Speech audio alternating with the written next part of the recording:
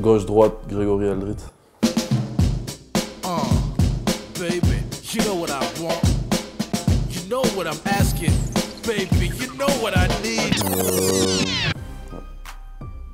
Je vais choisir, euh, choisir droite parce que voilà, ça me rappelle, on est dans la famille, j'ai les frères, le père qui, qui joue à la guitare, donc ça me rappelle euh, de bons moments, euh, souvent en fin de repas ou en fin de soirée avec, avec une guitare et, et des chansons. Donc, euh, droite. Ouais, j'essaye de jouer un peu, mais, mais c'est vrai que c'est rare, je le garde assez discret.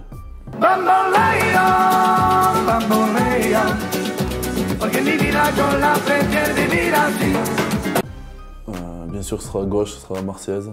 C'est vrai que c'est des moments, c'est des moments euh, spéciaux. Ça a commencé l'année dernière, ma première, et c'est vrai que ce sera, sera marqué à vie, à vie à moi, et c'est un moment très très fort. quoi.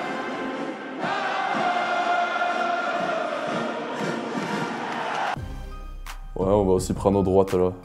Droite parce que c'est, euh, c'est mes origines, c'est le, le Gers, c'est la gastronomie, c'est le magret, les, euh, les patates. Donc euh, pour un petit clin d'œil au Gers, euh, je vais choisir droite.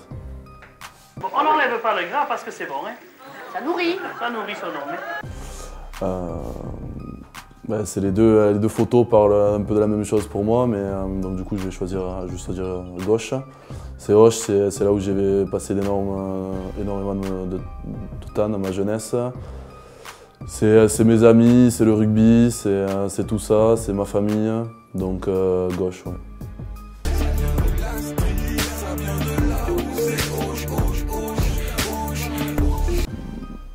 Ouais, c'est difficile, c'est difficile.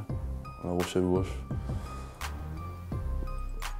Je vais garder Roche parce que Roche, ça me parle beaucoup plus. Moi, ça me parle beaucoup plus. J'adore La Rochelle, j'adore ce que j'y ai trouvé, j'adore la ville, mais, euh, mais bien sûr que, que Roche, pour moi, c'est encore euh, beaucoup plus important que La Rochelle à moi.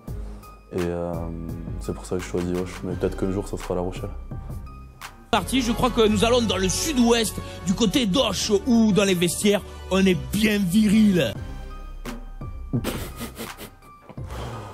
Louis, ouais, c'est. C'est vrai que euh, toute ma jeunesse, quand je regardais le, le rugby, quand je regardais l'équipe de France, il y avait souvent un, Louis, un 8. Et euh, c'est vrai que j'avais dit que ouais, c'était un des joueurs qui me plaisait beaucoup quand je regardais le 15 de France euh, en tant que supporter. Euh, voilà, ça a été aussi un super mec quand je suis arrivé. Droite. Euh, mais je vais prendre le bouclier en espérant qu'un jour euh, je puisse le toucher. On verra, mais euh, ouais, euh, c'est pour ça qu'on se bat, c'est pour ça qu'on se lève, pour ça qu'on s'entraîne. Donc euh, je, vais prendre, je vais prendre le gauche, ouais, le bouclier de Brems.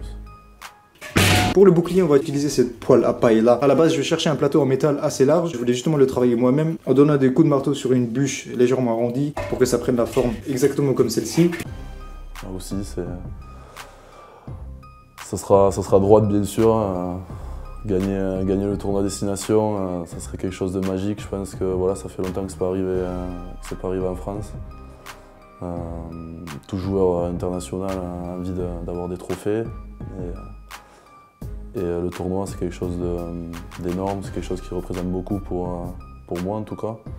Donc c'est sûr que, que j'aimerais soulever ce trophée.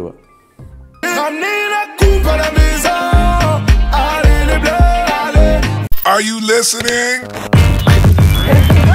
Blaise. Damn.